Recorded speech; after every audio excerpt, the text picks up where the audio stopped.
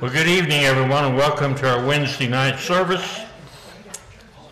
And we welcome those of you that are on Facebook tonight also. And tonight we're going to be in Revelation chapter 16. Revelation, the 16th chapter tonight. Remember those uh, on our prayer list. Now, in the bulletin, there's a pretty good list, you know, and you might want to look at that and be sure to remember those individuals in your prayers. Remember Ken and Elby uh, Burrow and uh, Daniel Lindsay, Renee Wallace, Louise Banks uh, had a stent uh, this uh, week and she's doing well. Uh, Linda Robinson had successful surgery. That's James Duncan's sister and looks like she will not have to have any radiation or, or chemo. Remember Lexi Rudy, also Corey Rowe with his uh, tendon on his, on his finger. Anyone else that we need to mention here before we go to God in prayer? Okay, let's bow and pray together. Father, we're thankful for the opportunity we have to come here in the middle of the week to study your word, to worship you, to fellowship with other saints. And Father, we are grateful for all the things that you do for us. And we confess that we so often take these things for granted and, and we don't thank you enough for what uh, you do for us on a daily basis. We're thankful above all for Jesus, your Son, uh, for his willingness to come into this world and to die on a cross so that we could have the opportunity to spend eternity with you someday. We're thankful for the church that he established. We're grateful, Father, for the Bible. We're thankful for your Holy Spirit, all other spiritual blessings that we have through your Son. And we pray that uh, you'll be with us tonight uh, as we study from your word. Help us to uh, take what we learn and make it applicable in our everyday lives. And we pray, Father, for those that we've mentioned tonight and those that are on our prayer list that you'll um, be with them in a very special way. Pray that you'll be with those that are sick, that you'll be with their caregivers and their families. Pray that you'll be with those that are bereaved at this time.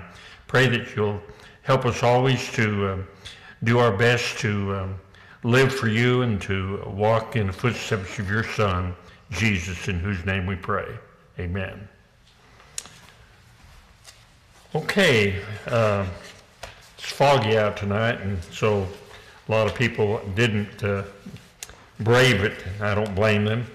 And uh, good to see those of you that are here. And uh, again, good to have those of you that are on uh, Facebook. In Revelation, we find a, a message of hope and a message of encouragement. And uh, I think often when we think of Revelation, we don't think of it uh, along those lines. But the uh, churches in uh, the first century uh, were being persecuted. Uh, they were being mistreated by uh, the Roman government, and they needed to be encouraged. Uh, the book of Revelation is written specifically to the seven churches of Asia, congregations that were located in what is now Turkey. Some of them had already undergone some persecution. Others would face persecution. And in the midst of all that uh, is the message of hope that God is still in control. Uh, the culprit, which is Rome, uh, is going to be defeated. You be on the Lord's side and you'll be on the winning side. You stay faithful even to the point of death and you receive a crown of life. Uh, that's uh, uh, the message of, of the book of Revelation. Uh, in the 15th chapter, uh, we see seven angels uh, who have seven plagues, and they're given seven bowls of wrath. And these bowls of wrath are poured out in the 16th chapter. And the seventh bowl is, is going to announced the defeat of Rome. Now, we've mentioned uh, at, at times as we've gone along that uh, individuals who think that the book of Revelation is just uh, a prediction of what's going to happen uh, in century after century in the future uh, wouldn't get uh, very much encouragement uh, if the writer was telling about something that was going to happen, for example, in the 1700s, or if if the writer was uh, talking about something that was going to happen in our day. That wouldn't encourage these, these Christians who were suffering at the time. But then again, uh, he's writing a specific message to them. Uh, the, the enemy is wrong, And we know, I mean, we're hundreds of years past that, that Rome is no more, not the, not the Roman Empire. Uh, and so we might say, well, you know, uh, this message was for them, but, you know, it's not really for us. But it is. Uh, because uh, the devil uh, has a way of using uh, governments, organizations to do his work. And he was using Rome uh, to do his dirty work. And today he still uh, can use a nation, he can use a person, he can use an organization. He's still active, he's still powerful, uh, he's still up to his old tricks. History has a way of repeating itself. And so when we uh, look at our world today and see what the devil is doing to the world, it can be very discouraging. But then we can look at the book of Revelation and see how uh, by inspiration, John was giving these early Christians uh, encouragement, giving them hope. And, and that uh, message is for you and me. Even though we're not living in the Roman Empire, we're still living in a wicked world. We're still living in a world where the devil is alive and well and doing his dirty thing. And so uh, I think we have to look at it in that way. Now, uh, in uh, Romans uh, Romans. We're in Revelation. They both start with R, though. In Revelation, the 15th chapter, uh, we see a sea of glass. And the sea of glass is first presented in chapter 4. And uh, it represented a great distance between man and God. Uh, and the idea was that uh, man really had a difficult time approaching God across the sea of glass. But here, uh, those who've been victorious are standing on the sea. Apparently now they have access, they can approach. The victory's been won, and they're in heaven, and they have access to God. Uh, we uh, made the point last week that uh, you've had uh, seven seals, and seals as they're broken reveal. Uh, a book, you know, Revelation uh, is is revealing. It's revealing something. Uh, and then we had seven trumpets. Trumpets uh, announce or they warn about something that's coming. Um, and uh, the seals uh, had been uh, broken. Uh, Rome had been warned. Trumpets had been sounded. They had been warned again, and they had not repented. and so finally, God, He's going to punish Rome. Uh, he, he's had enough, and these, uh, these uh, bowls of wrath are going to be poured out on Rome, and, and that's going to be, be the end of it. The seven bowls are, are similar to the seven trumpets. Uh, the seven trumpets are in chapters 8 through 11, and uh, the first trumpet, uh, you have a judgment on the earth. And when this first uh, bowl of wrath is poured out, it's poured out on the earth. Uh, second uh, trumpet uh, was a warning uh, uh, to the sea. And here in chapter 16, we read where the bowl of wrath is poured out on the sea. The third trumpet on the rivers and springs, third bowl of wrath on rivers and springs. The fourth trumpet was uh, a pronouncement on, on the sun and heavenly bodies. And when the fourth bowl is poured out in chapter 16, it's on the sun. The result in uh, on chapter so 8 through 11 with the seven trumpets. Uh, the fifth one, you have uh, torment. And here you have pain. Uh, the sixth trumpet, uh, it, it talks about the Euphrates River and an army. And when the sixth uh, bowl uh, is poured out, here in the 16th chapter, it also talks about Euphrates and, and, the, and the army. Um, let me look at my notes here. Okay, let's uh, let's begin looking then at uh, at chapter uh, 16. Okay, then I heard a loud voice from the temple. Now remember, the temple would be the the residence of God. Uh, when the uh, children of Israel built the tabernacle, that was uh, that was the residing place of God. Later, the the uh, tabernacle was uh, replaced by by the temple, and the temple would be uh, the the the uh, abide abode of God. Then I heard a loud voice from the temple saying to the seven angels, "Go and pour out on the earth the seven bowls of the wrath of God." Okay. Uh, so the first angel went and poured out his bowl on the earth, and it became a loathsome and malignant sore on the people who had the mark of the beast and who worshiped his image. Uh, people who had the mark of the beast, these were the, the unfaithful. Uh, is he talking about uh, literal uh, sores or is he using figurative language here? Uh, whenever uh, the plagues were given uh, upon Egypt, in, in Exodus 9, one of those plagues was, was boils. You remember that? Uh, and uh, the Old Testament was written in, in Hebrew. Uh, but uh, later, uh, in about 250 BC, it was translated into Greek. Uh, and there were about 70 men who made that translation. and that translation is called a Septuagint.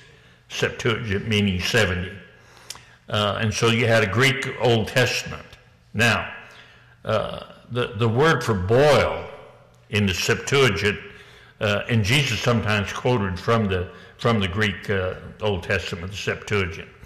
Uh, the, the word, that, the Greek word uh, in the Greek Old Testament is the same, for, for boil, is the same word that's used here for sores. And, and so you get the idea that, he's talking about a, a, a sore that would be like a, a, boil. But he's probably speaking figuratively here. Uh, these are symbols of pain. Uh, these are symbols of, of torment. Uh, and this, uh, I think, symbolizes the, the unhappiness, uh, the pain that comes from sin, the, the result of sin. That, that's the position that I take on that. And then if you look at the, the um, uh, third verse, the second angel poured out his bowl into the sea, and it became blood like that of a dead man, and every living thing in the sea uh, died. Now, uh, and then look at the look at the fourth verse. Then the third angel poured out his bowl into the rivers and the springs of water, and they became blood. And so you have blood uh, on the uh, second bowl, uh, you have blood uh, on the third bowl. And remember in Exodus 7 that whenever the uh, uh, plagues were pronounced upon Egypt, you had water turning into blood. and you, you, have it in the, in the sea, and it could be that, that what uh, he's saying here, the sea was such an important part of Rome and all the countries actually living around the Mediterranean. Uh, the, the, sea was their main uh, mode of transportation. It was a way that they, uh, they traded, you know, commerce on the sea was a big deal. Um, and the idea that uh, uh, the sea was going to become blood uh, seemed to be saying that at, at, some point they weren't going to be successful in traveling the sea, engaging in, in their successful commerce. Uh, and of course, this is the way they fought their battles too, was on the sea. Uh, but that would be greatly hindered at, at some point. Uh, and then also on the fresh waters. Uh, and look at uh, verse uh, 5 and 6. Uh, and I heard the angel of the waters saying, Righteous are you who are and who were, O Holy One, because you judge these things. For they poured out the blood of saints and prophets. Okay, so he's talking here uh, I, think about uh, about the enemy, about the culprit, which you know it seems to be Rome, uh, the the um, uh, vehicle that the devil is using. They poured out the blood of saints and prophets, and you have given them blood to drink. They deserve it. Uh, payday someday. Uh, reminds me of of Pharaoh uh, when uh, uh, he wanted to get rid of the, the um, Hebrews. Remember, he told them to take their baby boys and and, uh, uh, and, and kill them whenever they were born. That didn't work out too well because of a couple of faithful midwives. Uh, and and then later, you know, the, the baby boys were to be cast into the Nile River and then think what happened on the, on the 10th plague, uh, whenever the firstborn, even Pharaoh's firstborn, uh, died as a result of 10th plague. It's, you know, payday someday. Uh, they, they, they went after blood, uh, and, and, and, and that's what they received. And so he says here, uh, they poured out the blood of saints and prophets You've given them blood to drink. They deserve it. Uh, okay? And then uh, uh, verse 7 And I heard the altar saying, Yes, O Lord God, the Almighty, true and righteous are your judgments. Uh, then look at the fourth uh, angel uh, in verse 8. Fourth angel poured out his bowl upon the sun and it was given to it to scorch men uh, with fire. Men were scorched with fierce heat, and they blasphemed the name of God, who has the power over these plagues, and they did not repent, so as to give him glory. Uh, and so they poured out the, this bowl of wrath on the sun, uh, and and even even when they were punished, uh, they wouldn't repent. What they do? They blasphemed the name of God, spoke against the name of God. Now remember, uh, and this all seems to be hearkening back to what happened in Egypt. Uh, you know, Pharaoh would, would say, well, you know, I, have I've decided to, I've, I've decided to give in. And, and then the Bible would tell us uh, over and over again that Pharaoh's heart would be hardened. Uh, and, and some people have made the point, well, God made him do that. No, Pharaoh's heart was hardened because of the kind of individual he was. Uh, and, and, and the more, the, uh, the, the more uh, strict that God was with him and his country, the more he just bowled up and said no. And here you have, uh, I think, a, a picture of, of, Rome, even, even though they've received, uh, uh, you know, these bowls of wrath, they're, they're stubborn and, and they're, not, they're not giving in.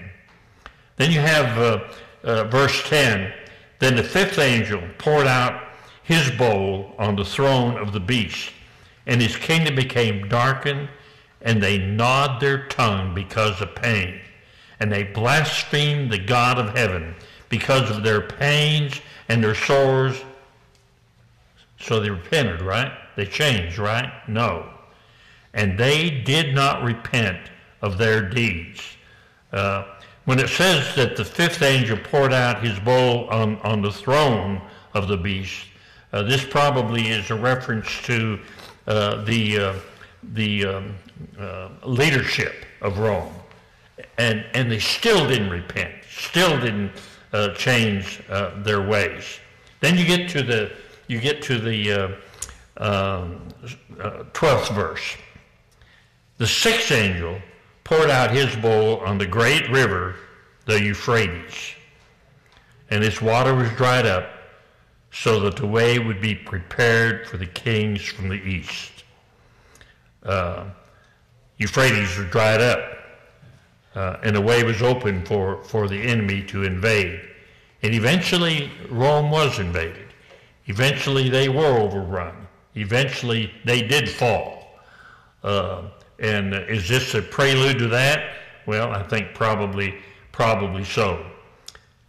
Now, uh, I want us to look at 13 through through uh, 16 here.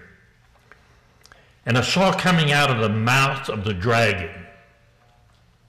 Uh, the the dragon uh, represents Satan. That's been well established in the book of Revelation and out of the mouth of the beast, which seems to be Rome, and out of the mouth of the false prophet, which seems to be an instrument of Rome, uh, enforcing uh, the worship of idols.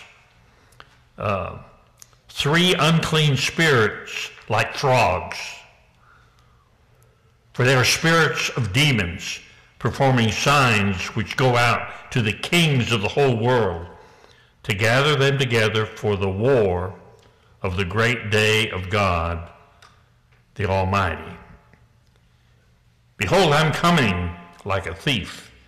Blessed is the one who stays awake and keeps his clothes, so that he will not walk about naked, and men will not see his shame. And they gathered them together to the place which in Hebrew is called Armageddon. Now, uh, Probably most of you have heard of the, of the, uh, the, the Battle of Armageddon. People who uh, believe in premillennialism uh, believe that uh, uh, the uh, Lord is going to return before the thousand year reign. Pre means before, millennial refers to a thousand years. Uh, and and uh, let me read to you uh, what uh, the late uh, uh, Brother Wayne Jackson wrote regarding premillennialism and, and, some of the things they believed. And he said that, that the theory of premillennialism it contends Christ, number one, Christ came to earth for the purpose of setting up his kingdom. what they say. He came to set up his kingdom. Well, he did come to set up his kingdom, didn't he? They're right about that. But their idea was he came to reestablish the Old Testament kingdom. Uh, but as he was surprisingly rejected by the Jews, he did not set up the kingdom, but rather, as an afterthought, established church instead. So the church, and these are my words, becomes an accidental institution set up because the Jews rejected Jesus. He came to set up this earthly kingdom on David's throne in Jerusalem, but the people rejected him. So uh, he, he went and used Plan B set up the church instead. Uh, number two, since returning to heaven, the bridegroom has tarried, but signs, especially Matthew 24, indicate that his return is imminent. Okay? Then, thirdly, the first state of the Lord's coming will be quiet and invisible, at which time the living righteous will be raptured. You've heard that term before, and dead saints resurrected. Fourthly, this uh, commences a seven year tribulation period during the first half of which Solomon's temple will be rebuilt and the sacrifices of the law of Moses reactivated, while the latter portion of this span will involve bloody conflict which is consummated by the Battle of Armageddon. Uh, now, it's interesting where the temple stood, the Dome of the Rock stands today. That's uh, a Muslim uh, uh, mosque. Uh, and it's been there since 600 AD. They're going to have to tear it down if they're going to rebuild the, the, the Temple of Solomon.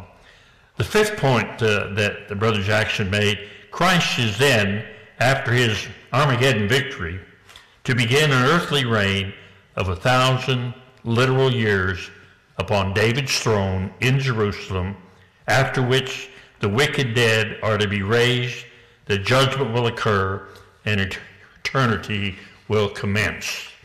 Now, here, here's what, here's how he answers uh, those uh, suppositions of the premillennialist. He says, uh, first, Christ was not surprisingly rejected by the Jews. His rejection was prophesied centuries earlier. This is Psalm 118, verse 22. The stone which the builders have rejected has become the chief cornerstone. That's in the Old Testament, uh, you know, a thousand years before Jesus was born.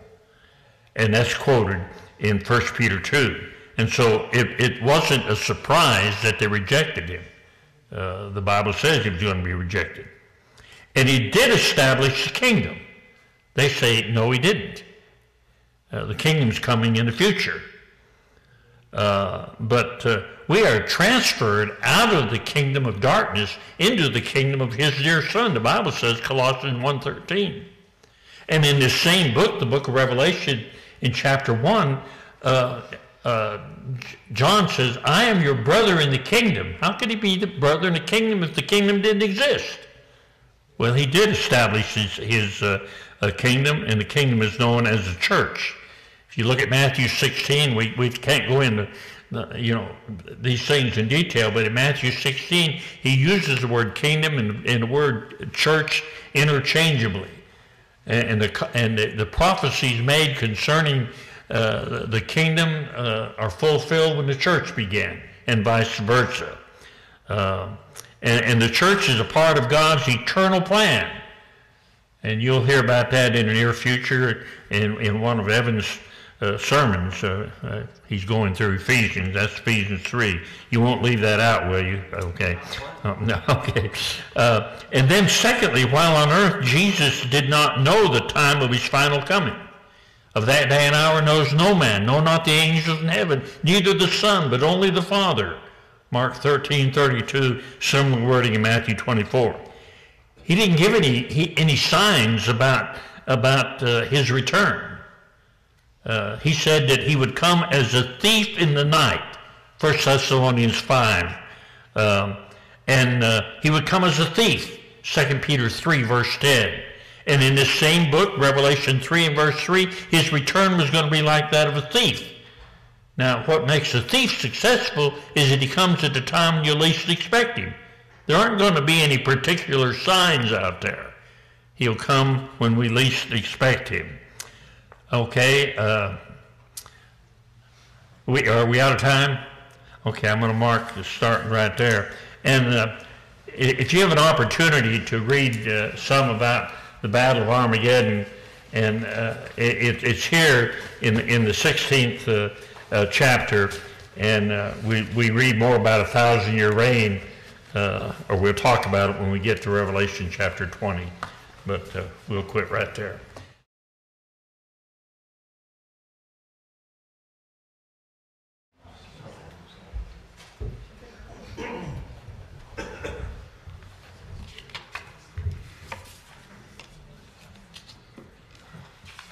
Good foggy evening.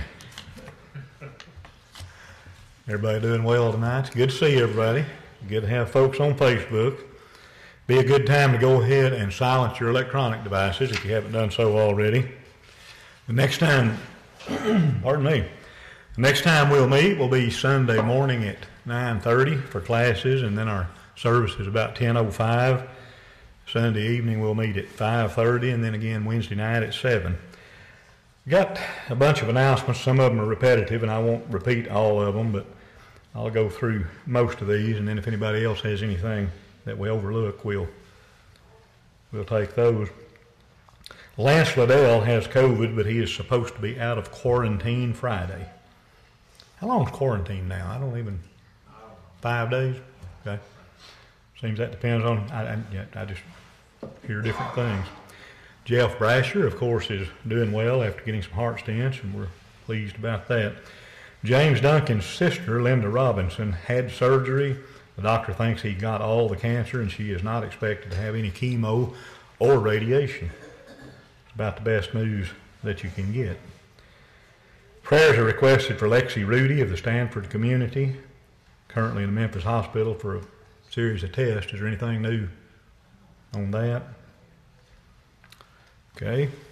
Danny Archer is on a ventilator, Evan said a minute ago, doesn't know where he is. Tammy Toller's mom is, has been placed in hospice care at Green Acres. Miss Louise Banks had her heart procedure, got a stent, and she's doing very well. Ken and Naomi Burrow, of course, still request everybody's prayers. Evan's brother Anthony, what's the latest on him? Uh, he's gonna be in there for a few more days. They're Okay. getting fluid off of him. Okay, he's in St. Bernard. He's a little better. He can actually kind of breathe now. Yeah. Okay. Yeah, he's a second Bernard. Evan says his brother's still in St. Bernard, and they've taken some fluid off of him, and he can breathe somewhat better now. Corey Rowe will have surgery Friday in Little Rock to start the process of reattaching a tendon in his hand. Keep him in mind as well. Imogene and Christy have COVID, and Larry and Camila says they're better, doing much better. Also, we need to remind you that the elders intend to appoint Brian Oden to the eldership here at commissary next Sunday, and they again appreciate everybody's input on that process, the selection. Is there anything else? Is anybody that we failed to mention? Anybody know? So, if not, those that are participating in our service tonight, Wes will lead our singing, Evan will be our speaker, Wade Taylor will give us our closing prayer at the proper time, and at this time, Philip Rowe will have our opening prayer. Let's bow together.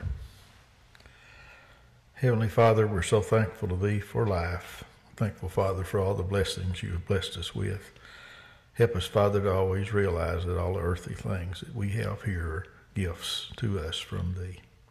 We're very thankful, Father, for our spiritual blessings also. Thankful, Father, for Your willingness to give Your Son on the cross so that we might have the hope of spending eternity with Thee in heaven. Very thankful, Father, for those that labor on your behalf. Especially, Father, we're thankful for those that labor with us. Thankful, Father, for all those throughout this country that work on your behalf, and very thankful, Father, for those that work in foreign fields. Ask, Father, that you would be with them and give them strength so your work would continue in these places and keep them safe as they do their duties there. We pray, Father, for peace. Pray, Father, throughout the world that, that the whole world might enjoy peace. Pray, Father, that the war in Ukraine would, would cease and that in Israel. We also, Father, pray for Haiti. Ask, Father, that law and order could be restored to Haiti. We're thankful, Father, for the security that we have in this country. We ask, Father, that you would always be with those that work to keep this country secure, keep them safe as they do their duties. Continue, Father, to be with us throughout our lives. Always, Father, help us to, to just do the things that we should do uh, and hinder us from doing those things that we should not.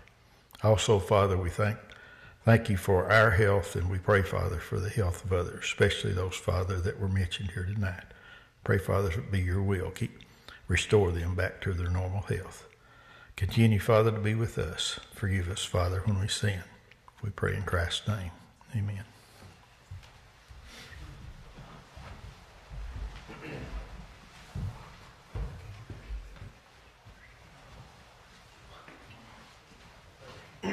519.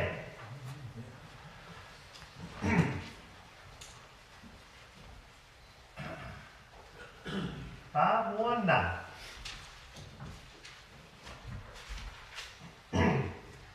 Only in Thee, O Savior mine, dwelleth my soul.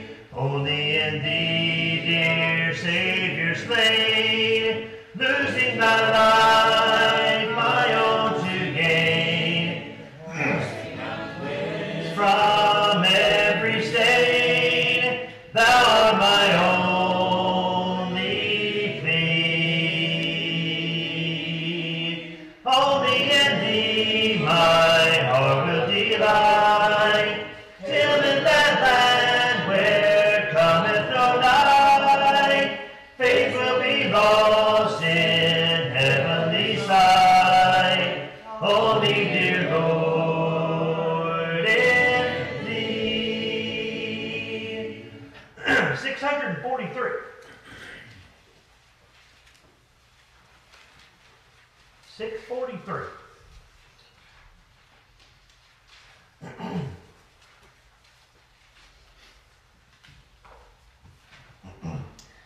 the Lord my shepherd.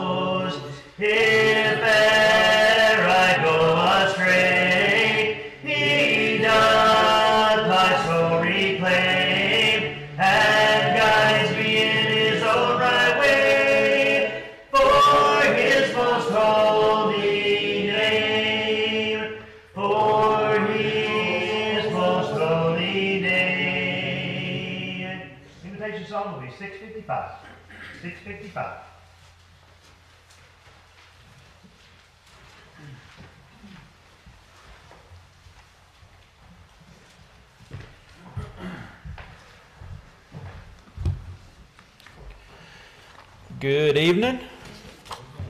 Good to see y'all tonight. If you would take your Bibles and turn to Psalm 113. The 113th Psalm.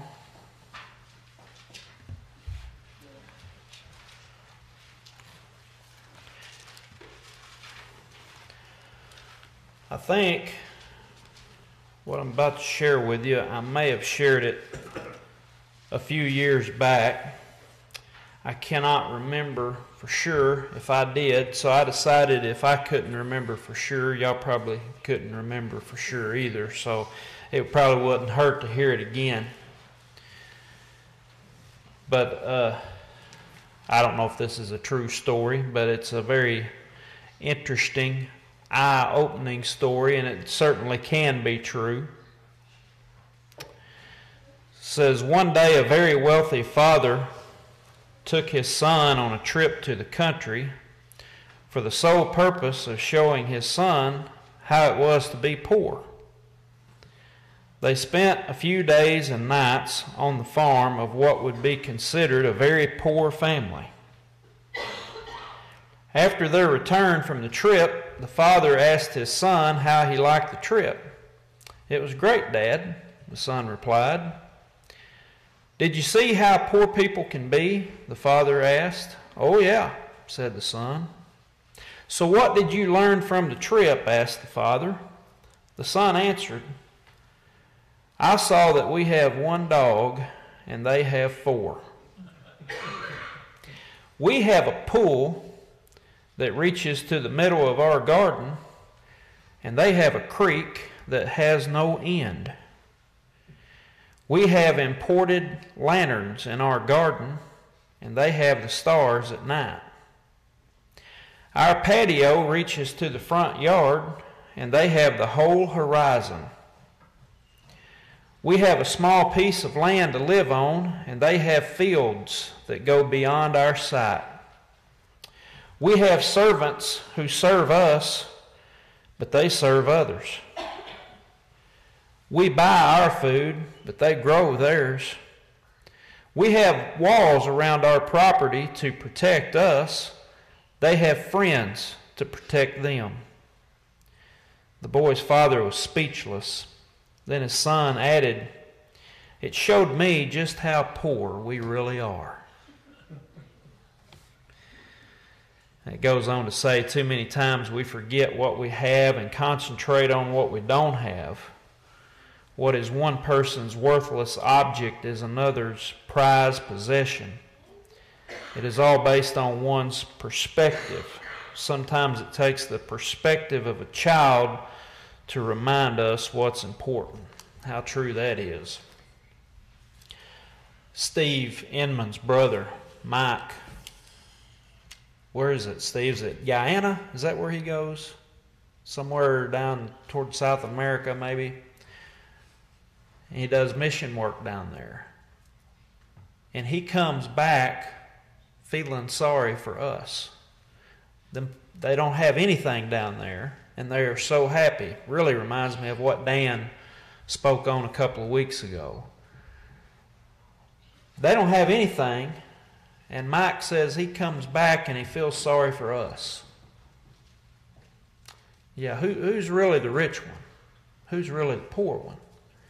Uh, James 2, verse 5 says, Has not God chosen the poor to be rich in faith? Here in Psalm 113, let's just read the whole thing. It's not very it's not very long. Psalm 113 beginning at verse 1. Praise the Lord. Praise, O servants of the Lord. Praise the name of the Lord. Blessed be the name of the Lord from this time forth and forevermore.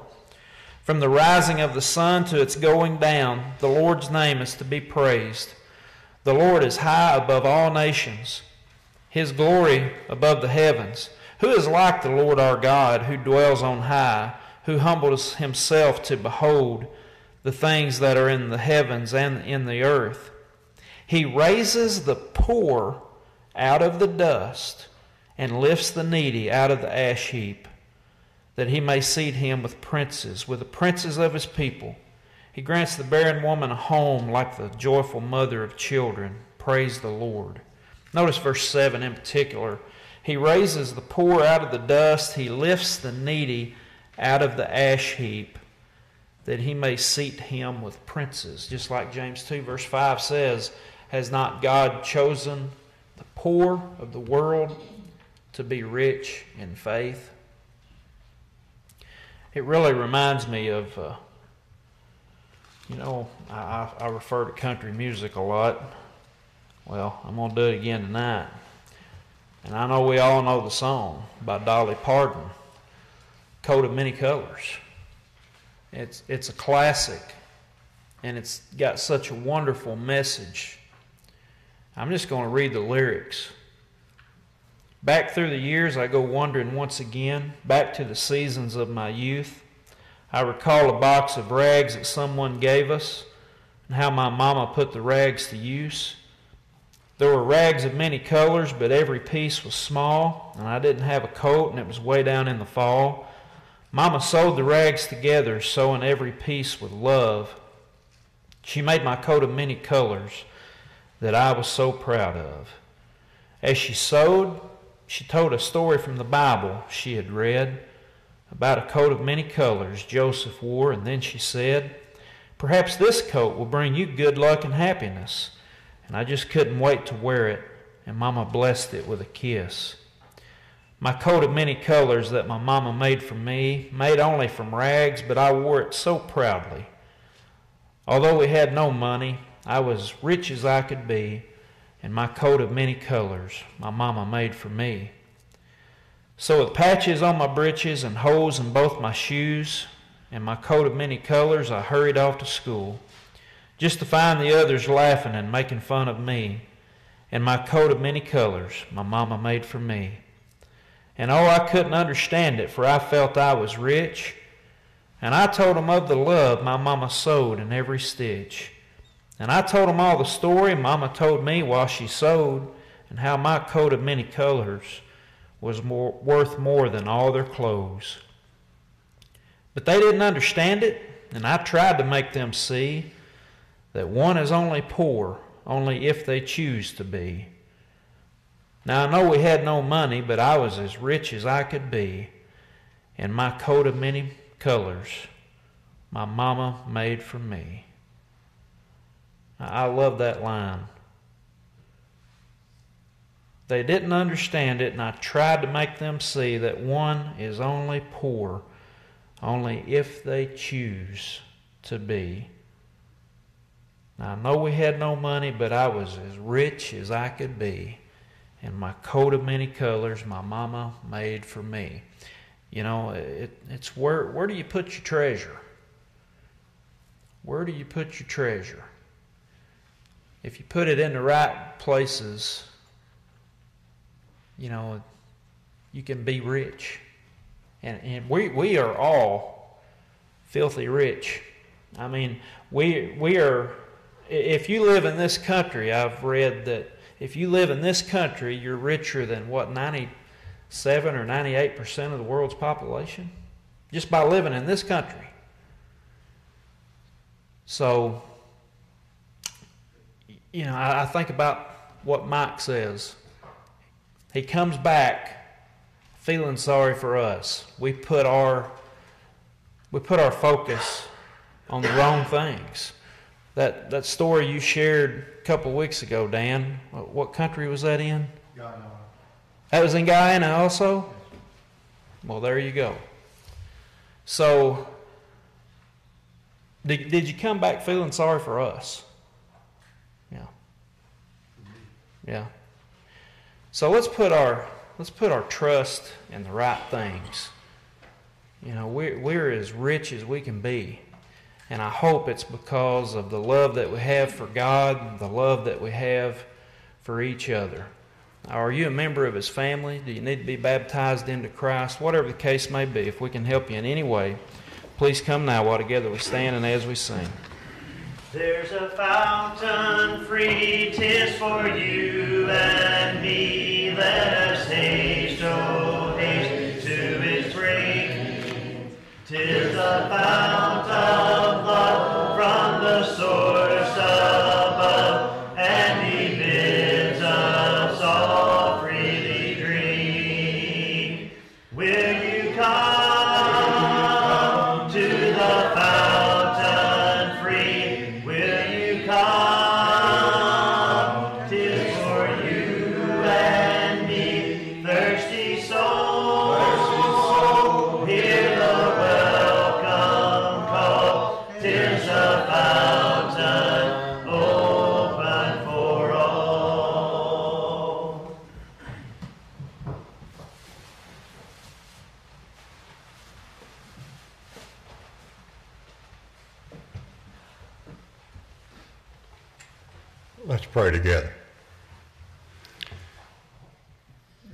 Father in heaven, we, uh, we come together tonight. We thank you for the blessing of being together on this dreary night, but it's a night that you, uh, you have given us here on this earth, Father.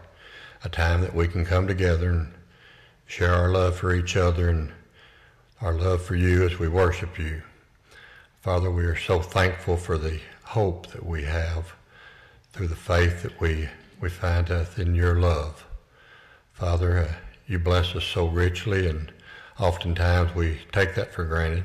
Most of the time we take it for granted.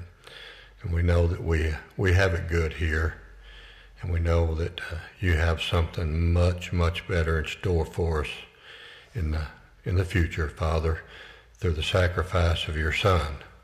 Father, we, uh, we want to lift up those that are struggling right now with the loss of loved ones and those who are sick and those who have been injured. Father, we know that your love and your mercy is always there and you can provide healing and you can provide hope and you can comfort them as, as they need comforted. Father, uh, we pray that we keep you dear to us as we go through the rest of our week. Forgive us of our sins. It is in Jesus' name that we pray. Amen.